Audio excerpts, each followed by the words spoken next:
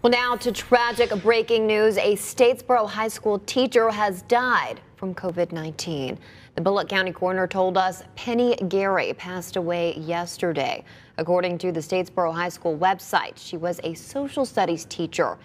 Hills Mortuary posted an obituary saying it extends condolences and prayers to her entire family and many friends.